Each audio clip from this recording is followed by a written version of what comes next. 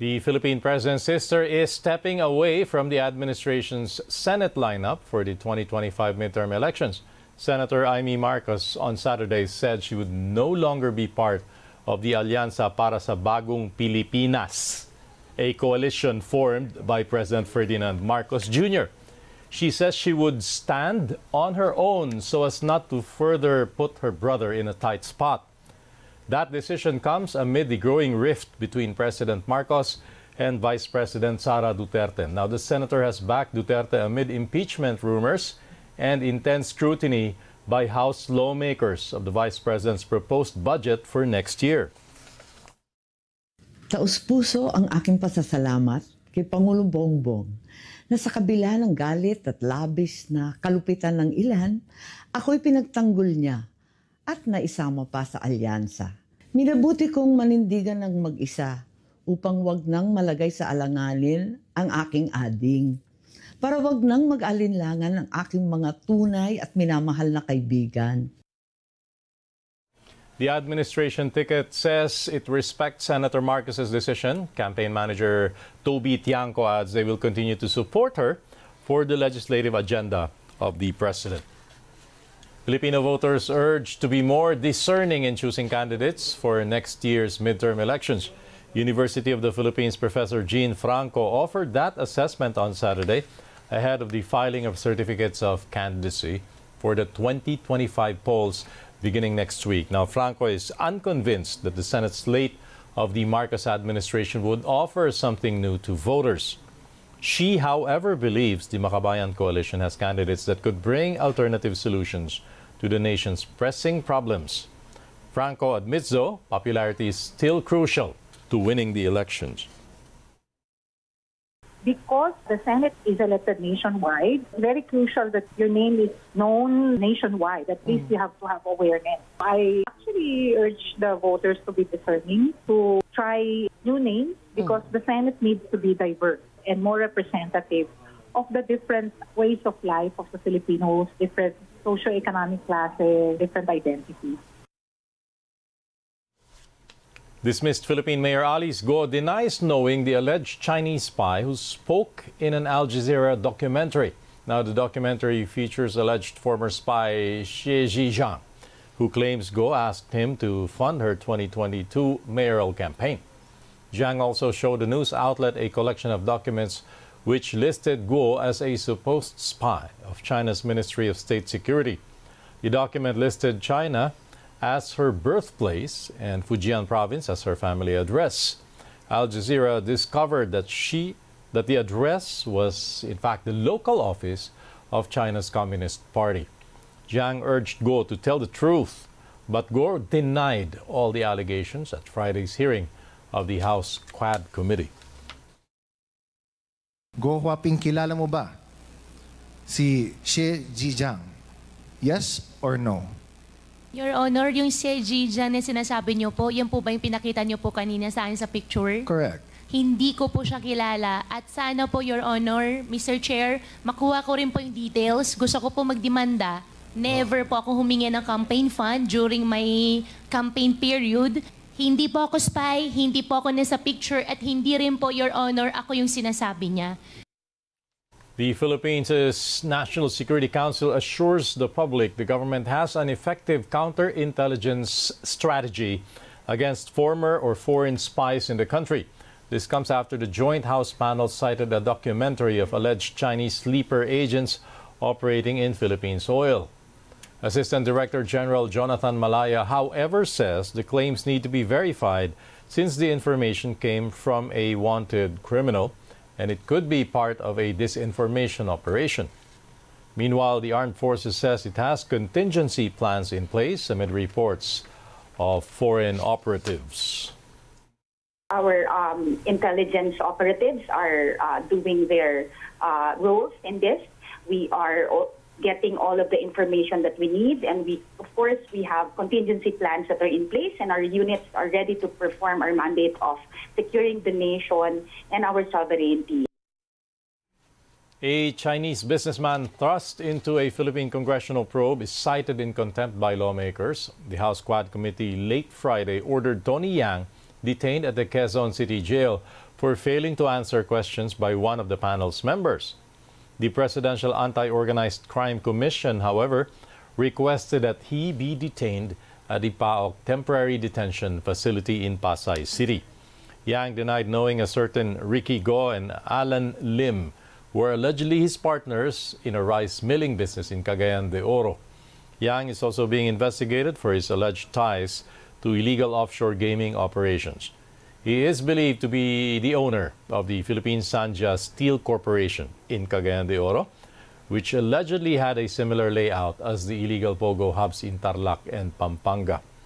The businessman previously admitted to possessing a fake Philippine birth certificate. He is the brother of Michael Yang, the erstwhile economic advisor of former President Rodrigo Duterte. There are two personalities, drug personalities, that I mentioned that are included in the incorporator in, as incorporator of the two companies. And he lied twice.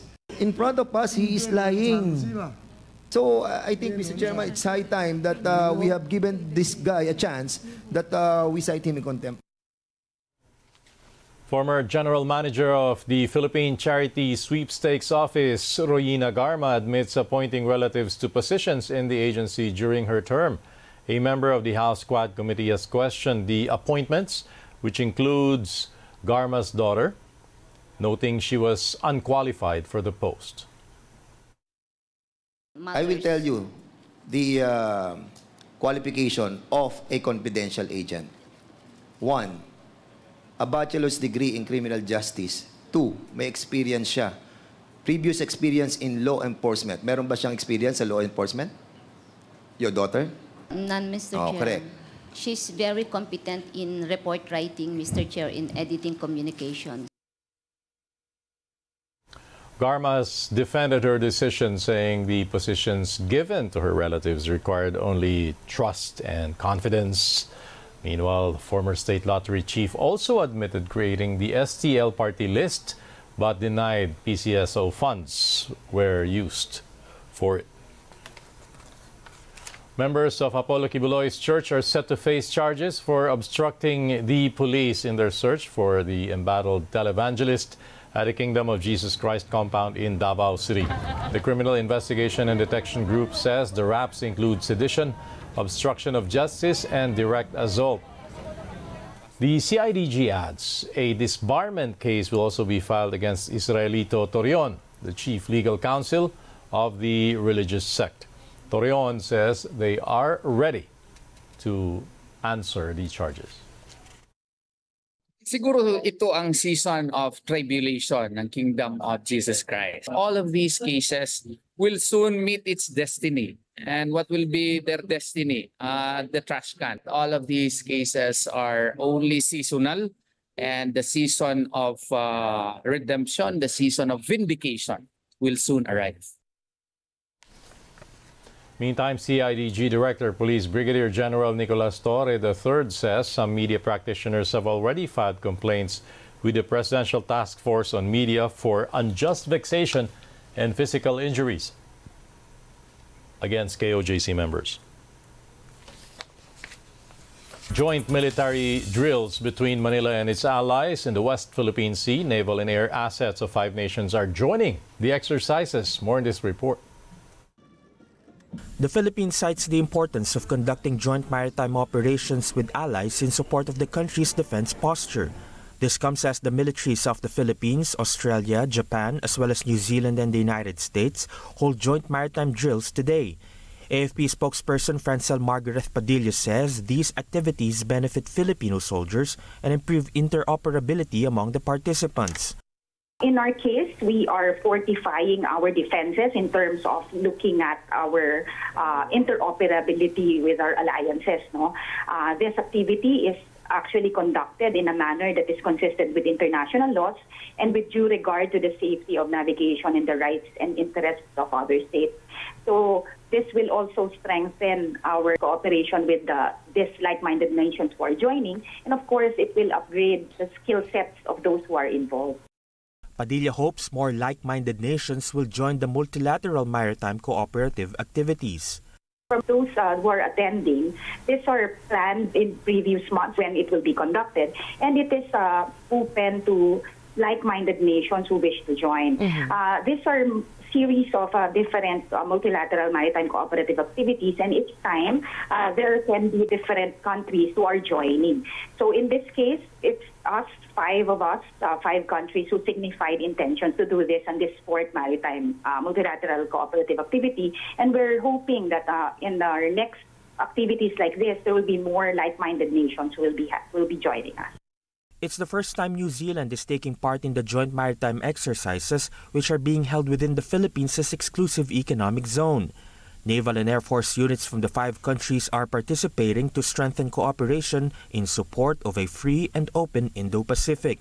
The Philippines has been increasing its training engagements with foreign partners as China continues to aggressively assert its sweeping claims in the South China Sea, ignoring a 2016 ruling that has invalidated its claims in favor of Manila. Meantime, China says it has organized its own maritime drills near waters surrounding Scarborough Shoal also on Saturday. The People's Liberation Army says naval and air force assets conducted routine reconnaissance, early warning, and patrol exercises. In a statement, the PLA said that certain external countries are stirring up trouble in the South China Sea, causing instability in the region. It adds their troops are on high alert and will defend what it claims as its national sovereign security. A third petition is filed at the Philippine Supreme Court to halt the transfer of PhilHealth funds to the National Treasury. The Nagkaisa Labor Coalition Group, led by lawyer Sonny Matula, warned of possible misuse in the handling of the nearly 90 billion pesos in untapped funds by PhilHealth. The group believes the funds should be appropriated for its intended use to improve healthcare services for Filipino workers. Ng PhilHealth ay dapat sa healthcare yan ng mga kababayan nating Pilipino. At sa batas po ay yan po ay appropriated na at nakalaan, nakaprograma na para sa ah, healthcare ng mga manggagawang Pilipino. At ang paggamit nito sa unprogram appropriation ng pamahalaan sa palagay namin ay isang ah, Uh, it, is, it is a negative social justice uh, uh, uh, na may mawawalan ng uh, epekto yung mandato ng konstitusyon na uh, dapat ang mga manggagawa natin ay maprotektahan. Two similar petitions were previously filed at the High Court against the controversial order of the Finance Department, but the agency has insisted on the legality of that move. The Supreme Court will hear oral arguments on the case on January 14th, but critics say it may be too late because the final tranche of nearly 40 billion pesos will be turned over to the National Treasury by November this year. Pump price is expected to rise for a second straight week due to escalating tensions in the oil-rich Middle East. Estimates show diesel prices could increase by as much as 90 centavos. Gasoline and kerosene, meanwhile, could see an increase of up to 50 centavos. The Department of Energy has said the increase is due to supply uncertainty amid heightened violence between Israel and Lebanon, as well as fluctuations in the United States fuel inventory. BYD Philippines rolls out what it called its game-changing electric vehicle as it hopes to encourage more Filipinos to shift to EVs. Jackie Pascual gives us a look at the BYD Seagull. BYD Philippines has launched its most affordable electric vehicle or EV model, the BYD Seagull, with a price tag of 898,000 pesos. BYD officials hope that with this price point, more Filipinos will consider shifting to electric vehicles, speeding up the adoption of EV usage in the country. with the price point, the quality of the vehicle, the tech features that includes that's included with the vehicle, plus of course the safety uh, uh, features of the vehicle, is truly a game changer at this price point. Despite its low price compared to other EV models, the Seagull packs features such as a voice command system, a mobile phone wireless charger, a cruise control feature. The car also has a range of up to 300 kilometers in a single charge. enough for several days depending on usage. And one single charge only costs around 600 pesos according to BYD Philippines Managing Director Bob Palanca. He adds drivers can expect low operating and maintenance fees. With a blade battery that is uh, capable of giving you 300 kilometers in range. Go up to Tagaytay round trip two times with one single charge. Palanca also assures the public more charging stations are being built nationwide, including in malls and even residential areas. With the entry of a more affordable EV, BYD expects to capture a new market and grow further. BYD has already significantly grown its presence in the Philippines since Ayala's AC Mobility became its distributor last year. BYD is proudly the top new energy vehicle brand in the Philippines. BYD has a dominating 80% market share in new energy vehicle sales. Now selling 400, 500 units a month. And, and to put that in perspective, the total industry EV sales in 2023, the entire year of 2023, is just about that number. The electrification of Philippine mobility has truly begun. BYD now plans to open one dealership per week starting October until the end of the year. Jackie Pascual, ABS-CBN News.